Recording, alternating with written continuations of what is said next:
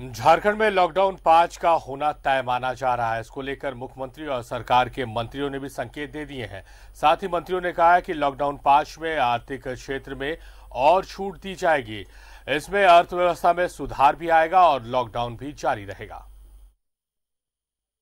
रविवार को लॉकडाउन चार की म्याद समाप्त हो रही है। झारखंड के ताज़ा हालात बता रहे हैं कि राज्य में नए गाइडलाइन के साथ लॉकडाउन जारी रह सकता है। लॉकडाउन पाँच पर बोलते हुए राज्य के वित्त मंत्री डॉक्टर रामेश्वर उरांव ने कहा है कि आर्थिक क्षेत्र में नए छूट के साथ लॉकडाउन को जारी रखना समय की मांग है। अभी चूँकि कोई दवा नहीं है इन्फेक्शन का कोरोना वायरस इन्फेक्शन का, अब सोशल डिस्टेंसिंग ही एकमात्र उपाय है।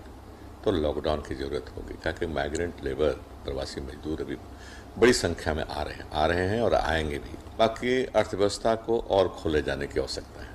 अभी जहाँ भीड़ नहीं हो पाती है, होती है बिना भीड़ के भी काम हो सकता है, जीविका चल सकती है, वैसे में हमको चाहिए कि हम आगे बढ़ें, आगे बढ़ाएँ इसको, रियायतें दें इस सब क्षेत्र में।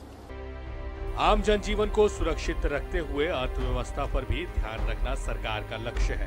राज्य के ग्रामीण विकास मंत्री आलमगीर आलम ने कहा है कि पहले से जारी गाइडलाइन को सरल किया जा सकता है। ठोस निर्णय लिया जाएगा और इस बात को भी ख्याल किया जाएगा जो कोरोना वायरस से लोग अधिक से अधिक संक्रमित नहीं हो, बाहर का प्रवासी मजदूर भी सुरक्षित रहे और यहाँ के लोगों को दुकान और सब जो चीज़ें हैं, जिससे रोजी जीविका उनको मिलता है वैसे चीज़ को खोलने के भी एक गाइडलाइन होगी। और निरंतर मुझे लगता है कि ये कोरोना वायरस से लड़ाई हमारा चलते रहेगा और इसी में जीना भी है, रोज़गार भी करना है।